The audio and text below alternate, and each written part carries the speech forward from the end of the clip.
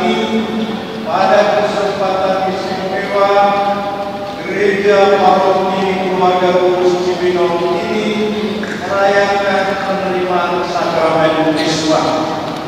Yesus mengajarkan kepada kita satu perumpamaan perumpamaan tentang kebun anggur dan seorang yang memiliki kebun anggur itu. Kita semua tahu bahwa Yesus mengajar selalu dengan perumpamaan. Maka kita harus cari apa arti perumpamaan itu. Jadi tadi dengar dari Injil tentang perumpamaan kebun anggur.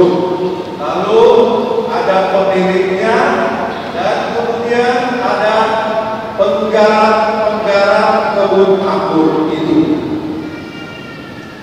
Kita paham dong? Paham semuanya? Jadi Yesus bicara mengenai perumpamaan kebun kebun apa? Jadi bukan kebun tapi kebun anggur. Dan ada pemiliknya. Kemudian ada juga penggarapnya. Penggarapnya artinya orang-orang yang disuruh untuk mengerjakan pekerjaan di kebun anggur ini. Nanti selanjutnya Anda bisa baca lagi tentang perumpamaan ini lebih detail.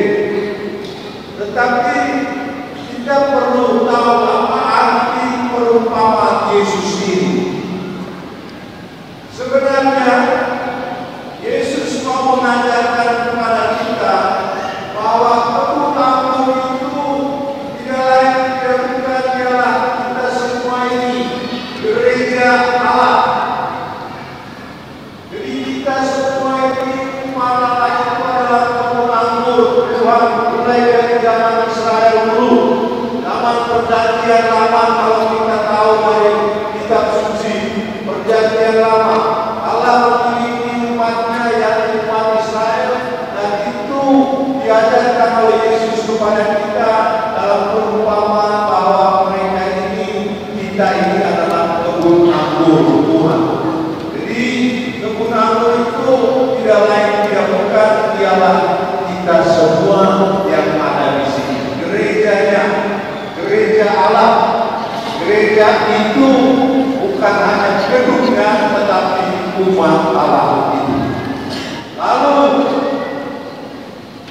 yang memiliki kebun anggur itu tentu kita tahu semua yakni siapa? Siapa yang menjadi pemilik kebun anggur itu? Tuhan sendiri, Allah sendiri. Dan Allah merawat, menjaga supaya kebun itu menghasilkan buah. Tapi Allah kita itu dia tidak mau bekerja sendirian, maka ada orang-orang yang dia percayakan untuk menjadi pekerjanya, garapnya. Sekali dalam video tadi kita juga penggarap-penggarap itu amat jahat. Mereka tidak bekerja, tetapi malah mereka hidup senang-senang saja. Orang yang diutus untuk memperbaiki cara mereka bekerja, mereka bunuh. Bahkan anak dari pemilik itu sendiri untuk memperbaiki mereka juga dibunuh. Kemudian memang pemilik kebun anggur itu yang Allah itu